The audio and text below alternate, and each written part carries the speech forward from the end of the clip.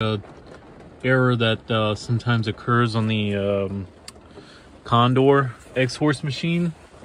And so uh, I'm sitting over here messing with the uh, uh, upgrade kit to clear that error. I've, I've had this happen twice before in the past like two years, so I'm at it again. Uh, one of the things I was having a problem finding was the like if you have some kind of antivirus software on your on your computer, it will block you from being able to download this because it says it's a virus. So after searching and looking and searching and looking, there's different uh, settings you can go into, but this is what you got to turn off. See, I have the McAfee virus scan.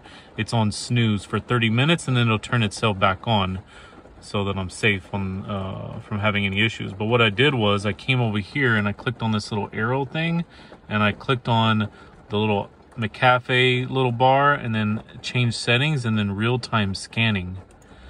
And then after that, I came over here, turned off real-time scanning. I turned it off for 30 minutes. So whenever I'm ready to turn it on, I'll click turn on. Now I'm ready to do my upgrade. I have it connected to the back of the, um, the I got the wire connected anyways.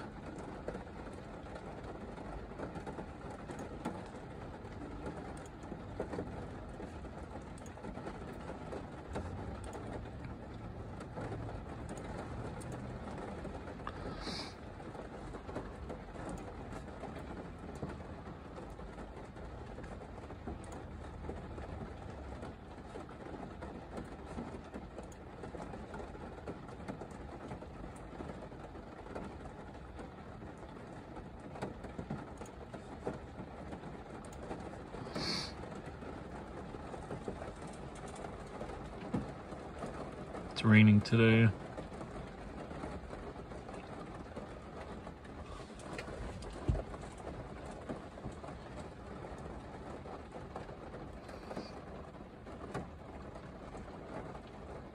I think it's reading the the machine. I think so.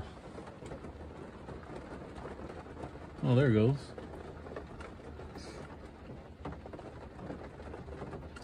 That's the first time I've seen that screen. I've seen two other types of screens. I've seen the black frozen screen and I've seen the screen where it's like stuck on this screen, but there's a line across it in the middle. So I've seen uh, I've seen different screens, uh, different errors pop up. The the reason why this error, uh, you know, that weird looking red and messy screen showed up was because whenever I was done cutting the key, it was like loading and I hate when it takes time to load, right? I turned off the machine and when I turned it back on, that screen popped up. Yeah. So uh, you you shouldn't do that. Just always wait.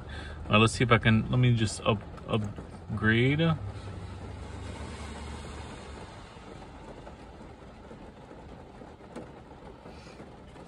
Today's my day off, man. And I don't want to be messing with this shit but I have to. And I had to borrow the cord, the cable to uh, from from one of my coworkers. Uh, I lost mine. I left it in a, a old van somewhere about three years ago, and uh, I for I I was meaning to buy one last year and I forgot about it. Now I'm gonna buy one because uh, I could have done this at home instead of coming over to the office. It's almost done. I wasn't able to really work yesterday because of this. So make sure you have your laptop, some kind of data Wi-Fi hotspot on your phone, and your your cable. And this could take only, you know, 10, 15 minutes tops, and you're and you're done, and you're back back to working again.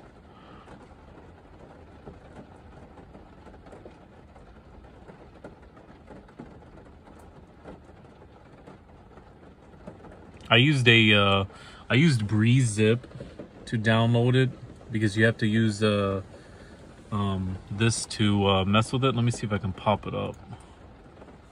Okay.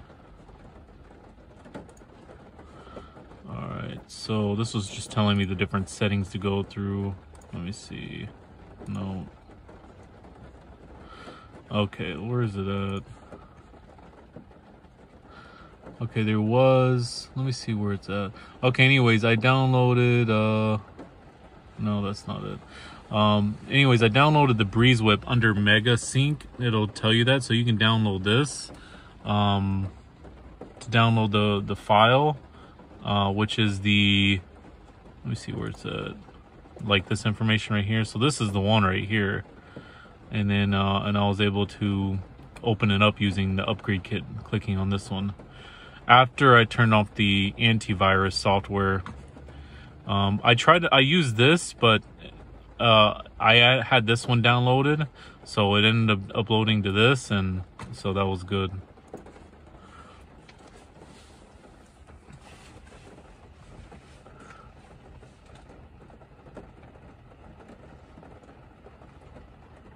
Still on black screen, updating flash.